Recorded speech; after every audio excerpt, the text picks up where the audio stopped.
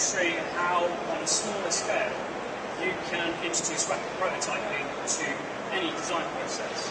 Uh, to tell you a little bit about myself, I work for called Integra Products, and we supply window furniture to the UK market. So independents, DIY chains, uh, and uh, brands like John Lewis, B&Q.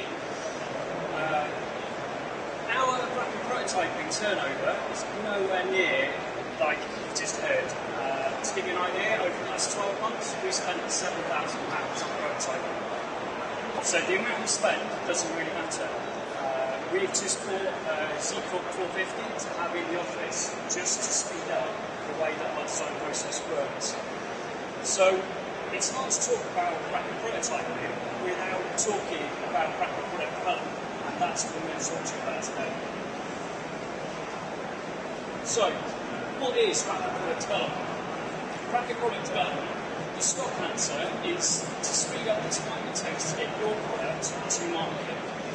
So, how do you achieve this? Well, I'm going to say it's, it's just adapting what we're doing now. So, to, to sort of point a phrase, work smarter, not harder.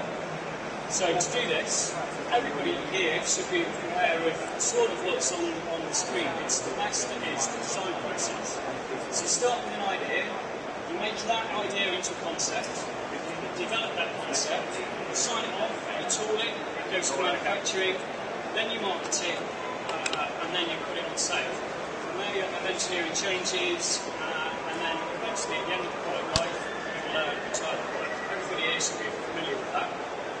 Now, what I want to do is turn that its head, really, and uh, talk about um, how to think a little more in detail about new product development and timescales. The first thing to remember, probably the most important, is that uh, to speed things up doesn't mean missing out steps in your process.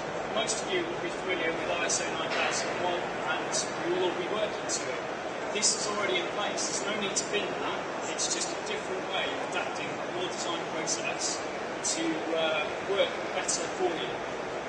Uh, the, the, way that design is, is, the process has developed over the last 10 to 15 years has evolved massively, and there's no reason, no matter, no matter which company you come from, why you can't evolve that process as well.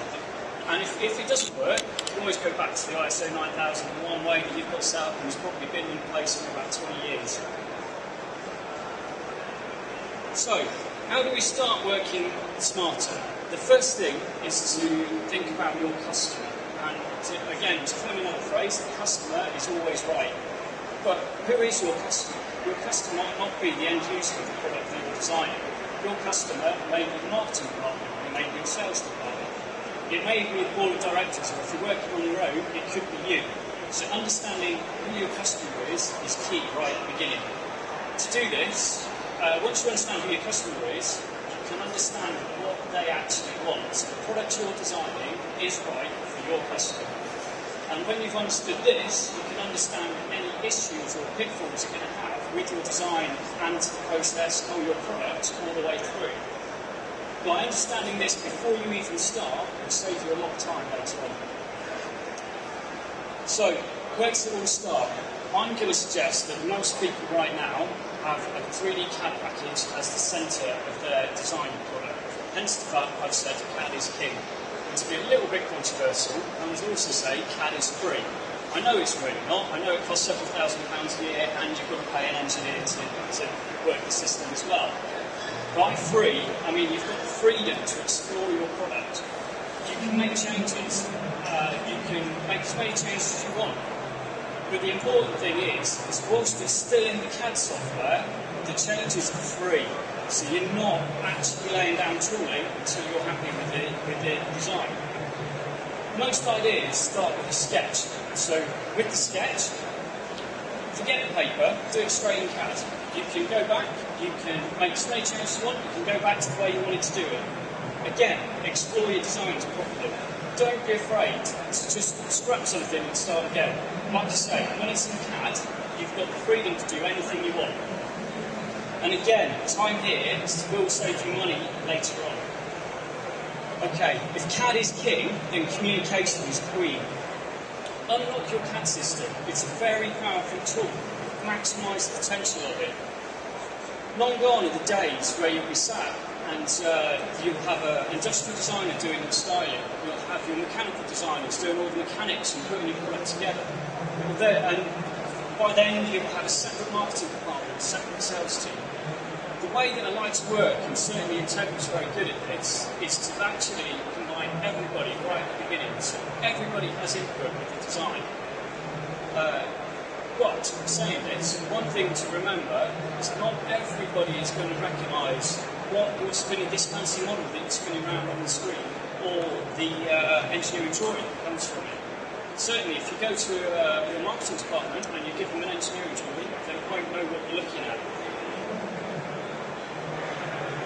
So, how to communicate your design and CAD work across to people that aren't going to understand what they're looking at.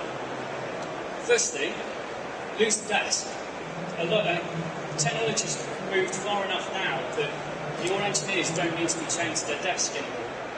Uh, certainly from here, the laptop I'm running this presentation on, uh, I can take to a customer, I can make changes to the CAD on the fly whilst I'm talking to them. In the same meeting, I can create a photorealistic rendering of the product and email it to them. And from there, I can also send the file to be printed back at the prototype machine back in the office so that it's sat on their desk when they get into work the next day. Uh, of course, the easiest way to do this is uh, visuals. There's a very quick visual on the screen right now. I have the part right in front of me if anybody wants to see it later on, or some samples down at the feet. Right, the next thing is uh, testing and exploring your part. Again, communication comes in here. We've, uh, we've already heard about the, the visual side of prototypes. You can actually send your part straight from CAD to get a visual, paint it, make it all look really nice and like the finished product, so you can consumer test it. You can also test it for fit and function, so your engineers can make sure that all the parts are going to fit together before the, uh, the CAD goes off to tooling. Uh, you can uh, actually do tooling trials with rapid prototyping now as well. You can offset surfaces and, and trial your tooling before it's even left your computer. But the best thing about rapid prototypes is real life testing. Now, the photo here is actually of me in Norway when I used to design kayaks, and inside that boat are three rapid prototype components.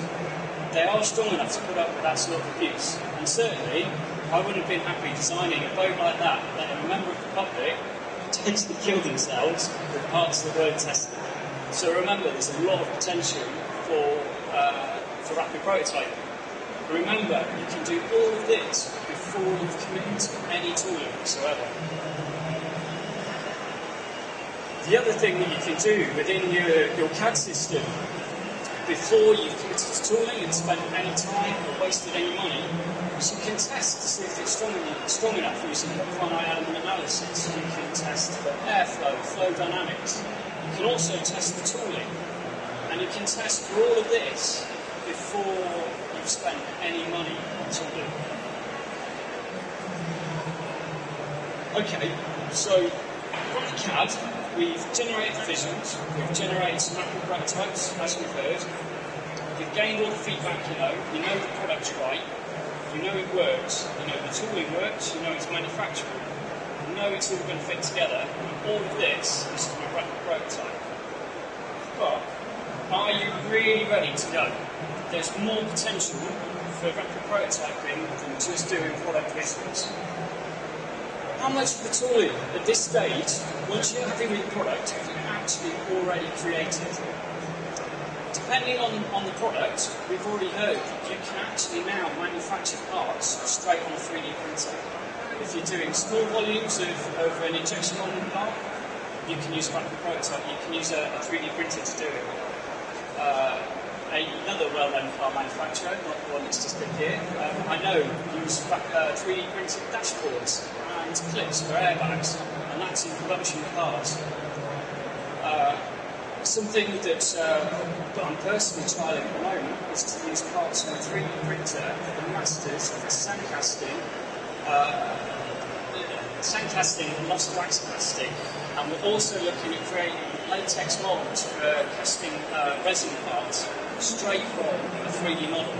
So from here, it's gone straight from CAD straight to the printer, and in the case of the latex, the molds, the latex, the masters for the latex molds, this will take our factory six weeks to manage to do this. We printed the parts in six hours.